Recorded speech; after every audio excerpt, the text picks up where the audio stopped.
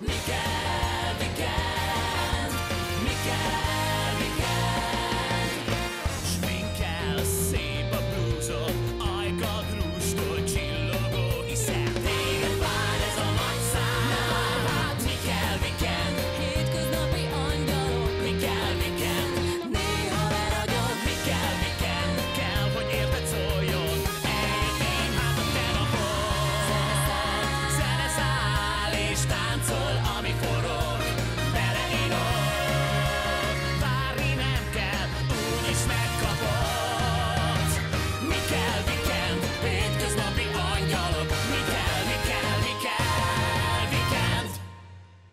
Köszöntöm Önöket, ez itt a Weekend. A mai műsorban bemutatunk egy citerás tehetséget, szólunk a Márton napról, és ingyenes baba-angol foglalkozást is ajánlunk Önöknek, de mindezek előtt színházi témával kezdünk. Az utolsó Nyíregyházi közgyűlésen Kírják Robertet nevezték ki a Múri Zsigmond Színház élére.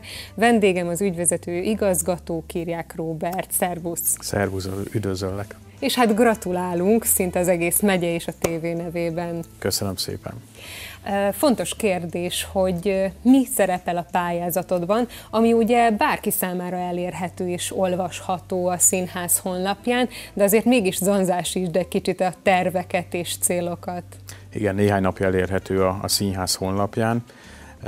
Bárki, aki kíváncsi rá, nyugodtan elolvashatja. 117 oldal, tehát néhány percet rá kell szánnia azért, aki részleteikbe is bele szeretne menni, de az első három-négy oldalból azért már nagyjából kiderül, hogy, hogy mi is az én elképzelésem, illetve mi is, ami, ami engem motivál, tehát ott a, a személyes motiváció az, ami, ami még így érdekesebb lehet egy kívülállónak. Mindenképpen fontos, hogy nyíregyházi születésű vagyok, itt nőttem fel, általános és középiskolát is itt végeztem, tehát megvannak a helyi gyökereim. Mindig is jártam színházba, fiatal koromban is, tehát átérzem, hogy mennyire fontos egy város életében a, a színház, és az, hogy így alakult, hogy első számú vezetője lehetek ennek a színháznak, az, az mindenképp egy, egy olyan szakmai kihívás, főleg közgazdászként, ami, ami nem túl jellemző, nem hogy a városban, az egész országban, bár most pont Kaposváron is egy, egy közgazdász neveztek ki színházigazgatónak, úgyhogy még az is lehet, hogy, hogy trend lesz belőle. 13-14 éve erős csapat tagja vagy ugye a színházban. Gazdasági vonalon erősítetted eddig a társulatot, a színházat. Szerinted ez mennyire lesz másabb a te vezetésed, mint mondjuk az eddigi? Persze már van egy jó pár hónap így a hátad mögött, de most ez egy mégis másabb lendületű ciklus Igen. lesz. Igen, de tehát most februártól vagyok ügyvezetőnek kinevezve, de előtte 2013. júliusától már cégvezetőként uh-huh. dolgoztam, ami már nem csak a gazdasági dolgokat foglalta magában, hanem gyakorlatilag a, a művészeti irányításon kez, kívül gyakorlatilag mindent, ami a színház vezetéséhez tartozik. És hát akarva akaratlanul is 2002 óta rengeteg dolog rám ragadta a művészi oldalról is, és soha nem gondoltam bele, hogy, hogy ezek a, az ötletek vagy gondolatok, amik, amik menet közben eszembe jutottak, hogy na, talán én ezt nem úgy csinálnám, hanem egy kicsit másképp, azok egyszer csak most a, a nyakamba szakadtak, és elkezdtem visszaidézni az emlékeimet, hogy mi, mik azok, amiket én máshogy csinálnék. Részben gazdasági, részben mm, teljesen privát elképzelésből. Mondj egy pár dolgot, csak hogy még közelebb hozzuk a te munkádat a nézőkhöz.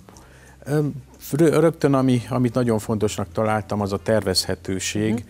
tehát a, az évad műsora már márci, március végén, április elején elkészült, és a szereposztások április 15-én kifüggesztésre kerültek a, a színház hirdető tábláin. Uh-huh.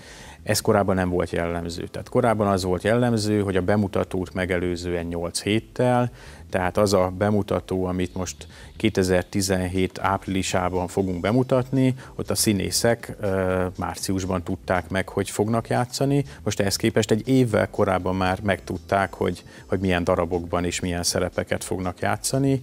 Ez az ő szempontjukból is nagyon fontos, akár gazdasági szempontokat is figyelembe véve, megvan így a lehetőségük, hogy látják azokat a szüneteket az ő próba folyamataikban, amikor el tudnak menni egy másik színházba eljátszani egy szerepet, egy castingra, egy filmes szerepre be tudnak ugrani, tehát ez, ez mindenképpen nekik is nagyon fontos volt.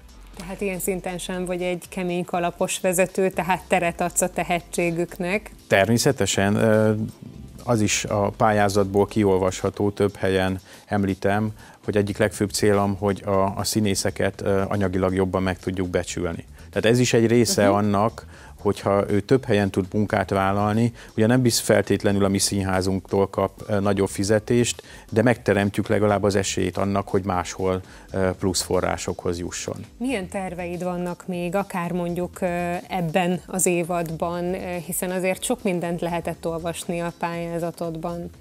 Igen, hát a, a leginkább jellemző dolog az a, az a felépítés, tehát az átgondoltsága minden egyes évadnak.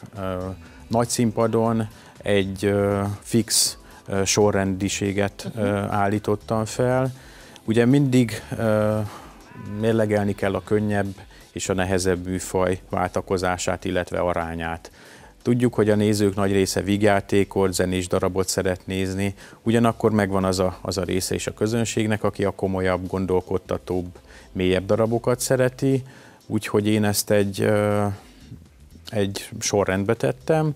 A mostani évad is már ugye egy zenéssel kezdődött, a második be, bemutató az Emilia Gallotti, egy, egy igazán komoly történelmi dráma, harmadiknak egy vígjáték következik, aztán megint egy kicsit komolyabb, és végül egy zenéssel zárunk. Tehát megpróbáltam azt az arányt nem csak a három-kettő arányban ö, felállítani, hanem sorrendiségben is egy, egy olyat kigondolni, ami nem viszi el egyik irányba se a színházat. Tehát szépen íve van az évadnak is mondhatni. Ehhez szükséges volt az, hogy nagyon sokan támogattak. Ez jó leső érzés neked, hogy akár mondjuk a korábbi vezető, a mostani művészeti vezető és a szakma krémje ott állt melletted, és azt mondta, Igen. hogy levélben is megerősítem. Igen, ez, ez nekem különösen fontos volt. Ugye első pillanattól egy kicsit mindenki furcsán nézett rám, mivel jellemzően a színházigazgatók, rendezők vagy színészek. Uh-huh. És mindenki méregetett, aztán mikor néhány hónap után azt látták, hogy teljesen jól működnek a dolgok, és tele vagyok olyan innovatív ötletekkel, ami más színházakban nagyon eszébe se jut az embereknek, akkor egyre többen elkezdtek bíztatni, hogy csináljam tovább, mert ez így jó lesz, és a közel 30 támogatói nyilatkozat a pályázat végén az, az jelezte, hogy, hogy tényleg olyan szakemberek is mellém álltak, akik korábban nem is nagyon tudtak róla. És a színház szerelmesei, a nézők is szerintem melléd állnak. Én köszönöm szépen, hogy elfogadtad a meghívásunkat. Köszönöm én is. A következő percekben pedig, ahogy ígértem, egy citerás tehetséggel ismerkedhetnek meg. Tanár és diák már hatodik éve. Hajdú Ágota, a Vikár Sándor Zeneiskola oktatója és Tölgyfa Gábor hosszú évek óta tanulnak együtt. Gábor már gyermekkora óta zenél, évekkel ezelőtt választotta magának a citerát hangszeréül. Azért a cicerát választottam, mert hát ez egy egész könnyen tanulható hangszer, először is első játékra is sikert ad. Mm, Egyébként először nagybőgőzni szerettem volna megtanulni, nagybőgő kiskoromban nekem nagyon tetszett, de ugye akkor még nagyon kicsi voltam hozzá képest, ezért nem választhattam azt, így a citerára esett a választásom. Ez olyan hat éves koromban történt. Most 12 éves vagyok, ezért ugye ez a hatodik évam, amikor citerázok. Alappengetési módokkal és a, az alaphangokkal megismerkedtem, azóta egyre több játékmódot, dallamot, tájegységet tanulok meg. Gáborral még óvodás korában találkoztam először, Zenov is volt, és ott egy Zenovi foglalkozáson ismerte meg a citerát, nagyon megtetszett neki, és utána addig-addig jöttek, kérleltek, hogy foglalkozzak vele, hogy tanítsam neki a citeramuzsikát, még egyszer mondtam nekik, hogy be lehet jönni, ki lehet próbálni, és majd felmérjük, de jeleztem előre, hogy óvodásokkal én nem nagyon szoktam foglalkozni, mert nagyon pici, törékeny a kezük, a kéztartásuk is még nagyon nehezen áll be, nagyon lassan haladunk, és ő nagyon határozott volt és céltudatos, és minden instrukciómat azonnal tudott követni, így már rögtön az első úgymond felmérés, képességmérés alkalmával tudtam neki olyan dolgokat tanítani, amely egy átlagos első-második osztályos gyerek esetében fordulhat csak elő. Akkor láttam, hogy a fizikai, testi adottságai nagyon jók, és nagyon okos, nagyon értelmes, figyelmes és nagyon érdeklődő, motivált, mert szinte minden egyes mozzanatot meg tudott figyelni, amit utánzással a kéztartásokat kellett megvalósítani, és, és így nagyon-nagyon gyorsan tudtunk haladni már az első időszakban is. Azóta eltelt hat év általános iskolában, már hatodik osztályos, és folyamatosan a tehetsége abban nyilvánult meg, hogy hogy mindig a korosztályához képest sokkal mélyebben, sokkal magasabb szinten tudott a hangszerével foglalkozni, sokkal nagyobb zenei anyagot tudtunk elsajátítani, és sokkal árnyaltabbak, színezettebbek, kidolgozottabbak a játéktechnikái, mint ahogyan azt az adott korosztályától elvárható. Az elmúlt fél év egy kifejezetten aktív időszak volt Ágota és tanítmánya életében. Gábor ugyanis a közmédia országos tehetségkutatójában szerepelt egészen múlt hét hétvégéig. Elsőként nekem jutott eszembe, amikor láttam az országos felhívást a felszállott a Páva vetélkedőre, és azonnal a szülőknek jeleztem, hogy terveim vannak, elmondtam, hogy szerintem egy nagyon jó tapasztalatszerzés, nagyon jó élményt jelent a gyerekeknek. Én már az előző évadban a gyermekpávában részt vettem, a területi válogatókon több diákommal, és nagyon nagy élménnyel tértünk haza, és ezt szerettem volna, hogyha a diákom Gábor is átélheti. Ezzel a szándékkal vágtunk bele. Gábor alapvetően nem egy versenyző típus, ő nagyon szeret gyerekeknek muzsikálni, közönségnek, különböző rendezvényekre szívesen álljon, de alapvetően ő inkább magában gyakorlós, és az a célja, hogy minél többet, minél szebbet meg tudjon tanulni, és a családjának, a szűk környezetének, itt a zeneiskolában minél magasabb szinten muzsikáljon a közönségünknek. Neki ez egy külön kihívást jelentett, hogy a versenyzéssel járó felkészülés, illetve az a lelki állapot átélése, ami a versenyhelyzeteket jelenti. Egy picit ő is gondolkodott rajta, alapvetően nem volt túl sok időnk, és amikor úgy döntöttek a család is, és ő is, hogy ebbe szívesen belevághatunk, próbára tesszük magunkat, akkor elkészít, elkészítettük a jelentkezéshez szükséges demófelvételt, elküldtük és vártuk, hogy ez alapján beválasztanak-e bennünket abba a csoportba, akik a területi válogatón részt vehetnek. Tulajdonképpen ez volt az első fordulója a Pávának. Belépéseim már voltak régebben is, de ilyen verseny még nem. Nem is nagyon szeretem az ilyen versenyeket. Hát a tanárnéni mondta, hogy ki kéne próbálni, mert szerintem nagyon jó ez a verseny. Így hát én elmentem a területi válogatón, mm, ott szerepeltem, felléptem, és úgy gondoltuk, hogy hát nem sok esélyem van arra, hogy tovább jussak, és így hazamentünk, és azt mondtuk, hogy vége de akkor nyáron jött a hír, hogy továbbítottam, és nagyon megörültem neki, mert egyáltalán nem számítottam rá, nagyon nagy meglepetés volt. A területi válogatóra egy szabadon választható produkcióval kellett jelentkezni, és aki továbbított, annak azt kellett előadni, amit a területi válogatón. A verseny közben inkább, a, inkább úgy éreztem, hogy ez egy televíziós közvetítés, és nem egy verseny, egy fellépés. Hát mivel ugye stúdióban volt, tehát az nagyon érdekes, meg fura volt, hogy teli volt kamerákkal, és így nem is izgultam annyira, mert én igazából csak amiatt izgulok, hogy ott van előttem a közönség, és az a fő dolog, hogy nekik játszok, és én nem nagyon szeretem az ilyet, és emiatt szoktam általában izgulni, de ez most nem olyan volt, mert nem is láttam szinte a közönséget, és inkább az volt bennem, hogy ez egy tévés fellépés. Kimondottan a Páva verseny jelent egy nagyon nagy másságot, Gáborral nagyon jól haladunk, ő mindig tényleg kész műsorszámokkal rendelkezik, bármikor, bármilyen reprezentatív alkalomra nyugodt lélekkel el tudom küldeni, fellépni, mert mindig nagyon precízen, pontosan gyakorol, és a produkciói is mindig kiegyensúlyozottak, magas színvonalúak. Inkább a versenyhelyzetre való ráhangolódás, a koncentráció fejlesztése volt a cél, hiszen egy élő adásba került be a televízió közvetítésével egy országos média láthatta, médián keresztül láthatták, hallhatták, és ez egy olyan olyan izgalmi állapotot, olyan fokozott figyelmet igényel a gyerekektől, a felkészítőktől is, amire igazából mi magunk itt nem tudunk felkészülni.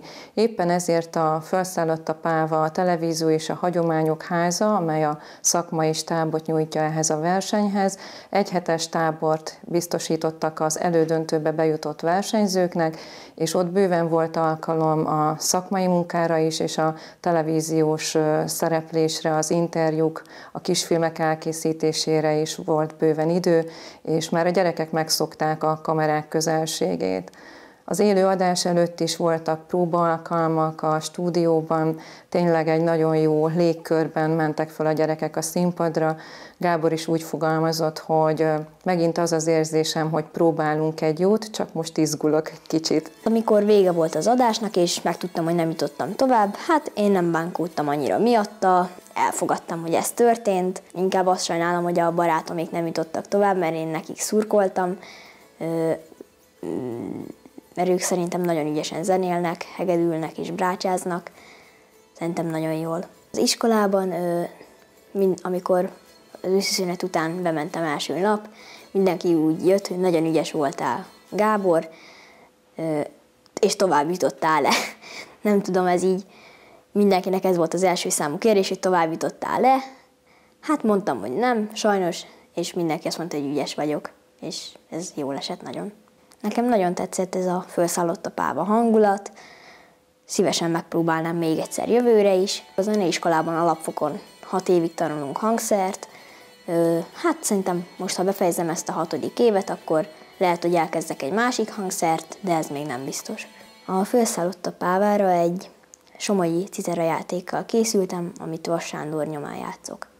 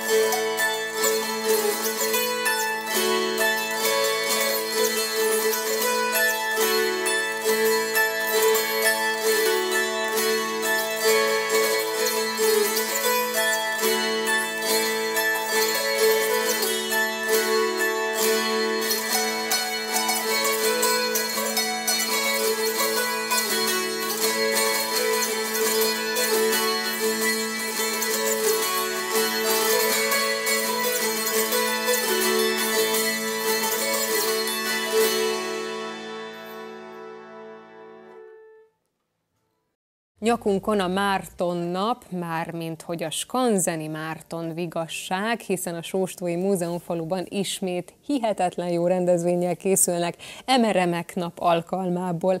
Vendégeimmel erről fogok beszélgetni, hiszen itt van Szabó Sarolta, ugye a Múzeumfalu igazgatója, valamint német Sándor, aki elhozta, hát csoda lúdját, libáját, Sanyi bácsi, ki ő?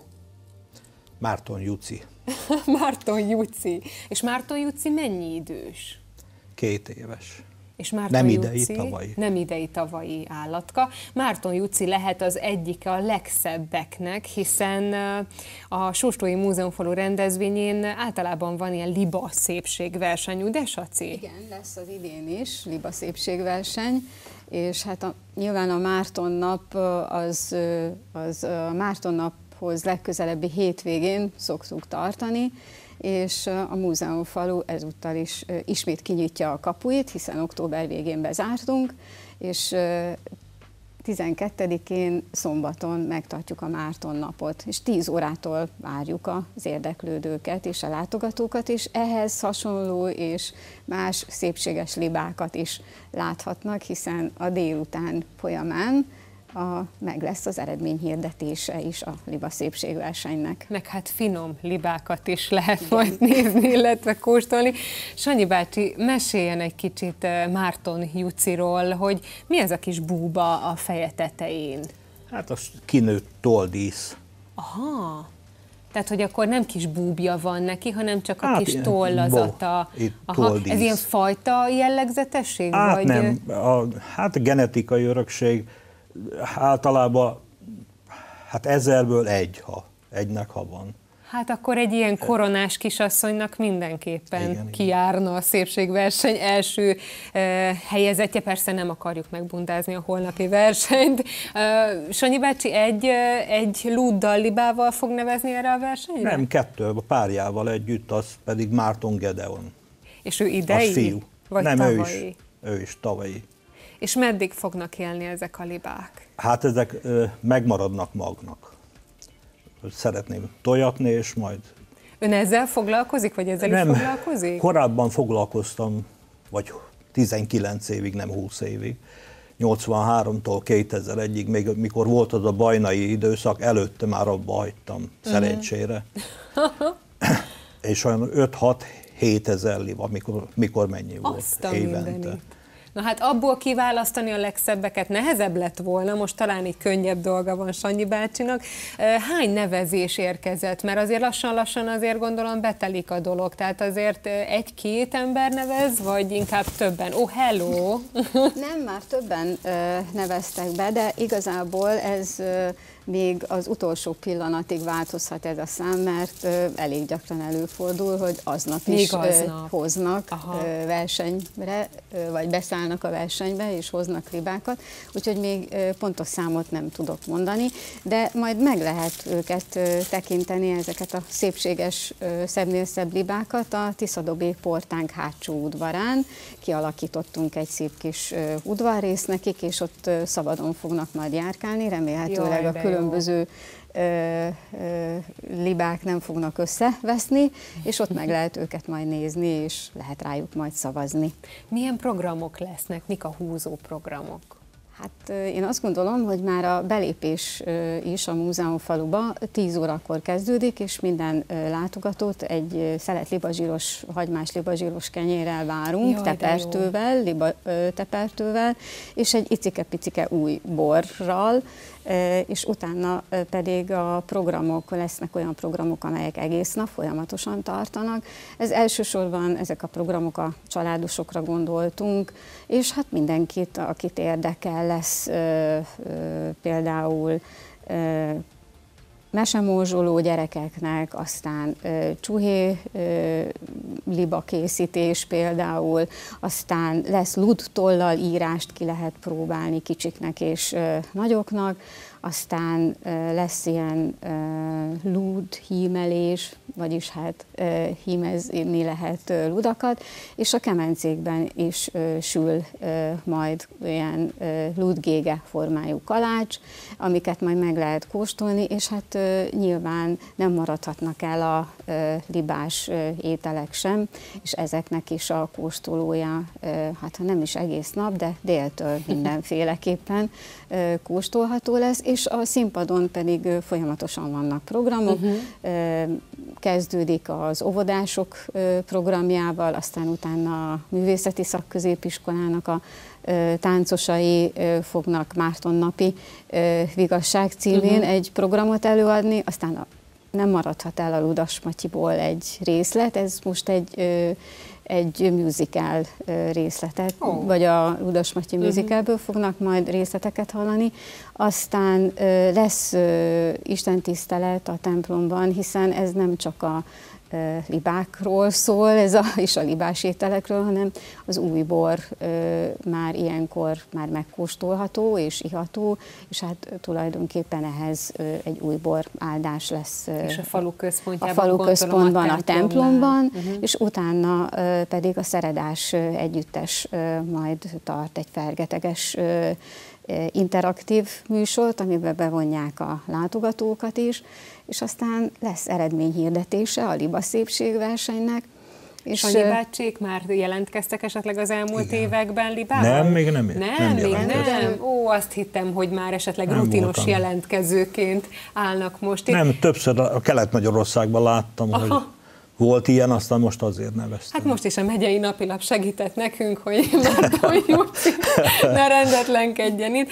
Annyira kecsesen ül, és én kecsesen meg is köszönöm akkor, hogy elfogadták a meghívásunkat. Köszönöm szépen, és hát ne feledjék, kedves nézők, hogy november 12-én, azaz holnap 10 órától érdemes kilátogatni a Sóstói Múzeumfaluba.